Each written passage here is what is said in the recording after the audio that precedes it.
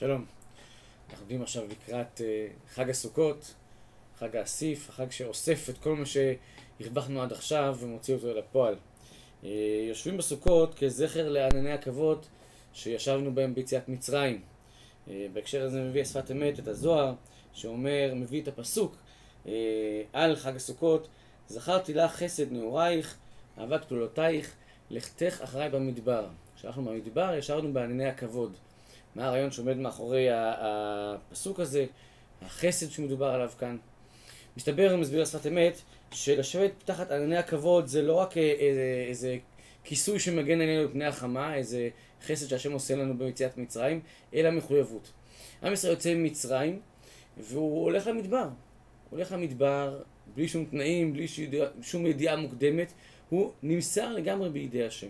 להיכנס תחת ענני הכבוד להיכנס תחת כנפי השכינה, זה בעצם משימה. זה להגיד, אני עכשיו מתמסר לגמרי בידי השם. זאת החלטה נפשית.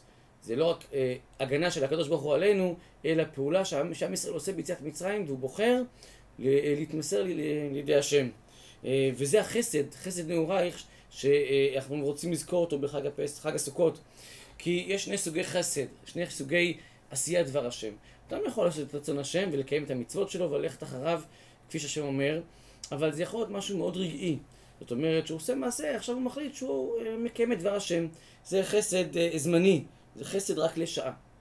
המיוחד בכניסה תחת ענייני הכבוד, זאת האמירה המוחלטת, שעם ישראל אומר, אנחנו מתמסרים בידי השם באופן קבוע. אנחנו מתבטלים לרצון השם בצורה מוחלטת. וזאת המעלה של עם ישראל במדבר. זה הכניסה תחת ענייני הכבוד, וזה החסד נעורים שהקדוש ברוך הוא זוכר לנו. אה, אומר השפת אמת, זה אה, חסד שמתקיים לעולם, וזה חסד שזוכים לו על פי דין. הכוונה היא, וזכרתי לה חסד נעורייך, הקדוש ברוך הוא זוכר את החסד. הזוכר את החסד מזכיר לנו את ימי הזיכרון של ראש השנה. כי מי שעושה חסד, ודאי שהוא עושה מעשה טוב. אבל מי שנמסר תחת הקדוש ברוך הוא ותחת עיני הכבוד של הקדוש ברוך הוא, זה חסד שהוא זוכה פה על פי דין. זה מעמד נפשי קבוע שאדם קונה בעצמו. לא עשייה חד פעמית, מקרית, מזדמנת של דבר השם, אלא החלטה של התמסרות לגמרי בידי השם. וזה החסד הגדול שאנחנו זוכים בו על פי דין. אז אחרי ראש השנה ואחרי הימים הנוראים, אנחנו אה, זוכים בזה. אנחנו קונים את המדרגה הזאת, ובהחלט בזכותנו אנחנו אה, נמסרים בידי השם. אבל יש מדרגה עוד יותר גבוהה. אה, ואומר שפת אמת, גם אחרי שזכינו בדין, וקנינו את המדרגה, ואנחנו כולנו שייכים לקדוש ברוך הוא, אמנם בני ישראל, אחר שזכו בדין בראש השנה ויום הכיפורים, אף על פי כן מייחלים לחסדי השם מצד יקרת חסד אלוהים. פה יש מדרגה אפילו יותר גבוהה. נכון, קנינו מדרגה של התמסות בידי השם, של ביטול רצונותינו לדבר השם, כל זה קנינו בימים הנוראים.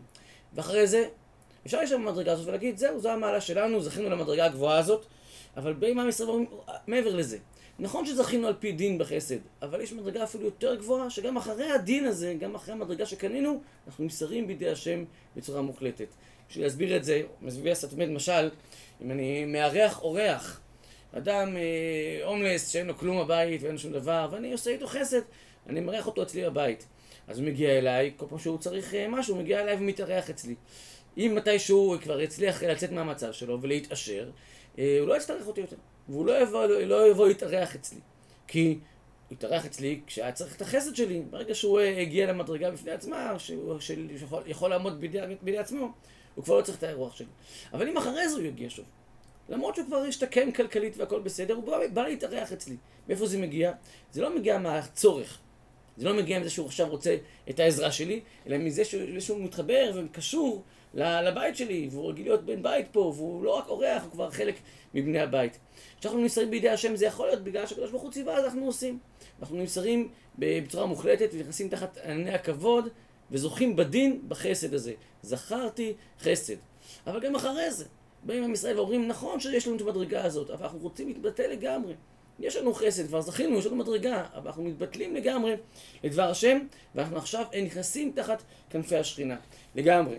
אבל גם אחרי ראש השנה ויום הכיפור, שאנחנו בעצם קנינו מדרגה, אנחנו מבטלים אותה לגמרי, אומרים, לא משנה מה מדרגתנו, אנחנו צריכים את החסד שלך, אנחנו צריכים את הישועה שלך, אנחנו צריכים להיכנס תחת ענני הכבוד שלך. בביטוי קצת יותר עמוק, אומר השפת אמת, אה, יש בחירה לאדם, אדם בוחר אם לעשות את רצון השם או לא, אבל יש גם בחירה לבחור שלא לבחור. אף כי הבחירה ניתן לאדם, עם כל זה, יש גם לזה בחירה. שבוחר בכל נפשו שלא להיות בבחירתו. אני בוחר שלא לבחור. התמסרות מוחלטת על ידי השם, שגם שיש לי כבר יכולת ועמידה עצמאית, אני בכל זאת מתמסר לגמרי בידי השם ונמסר לחסדו. על זה אומר שפת אמת את הפסוק, מה יקר חסדך אלוהים, ובני אדם בצל כנפיך יכסיים. החסד הגדול ביותר, מה יקר חסדך, זה החסד שבו אנחנו נמסרים לגמרי בידי השם, ובני אדם בצל כנפיך יכסיים, בצל הקדושה של השכונה, של הסוכה. שיהיה לנו חג שמח.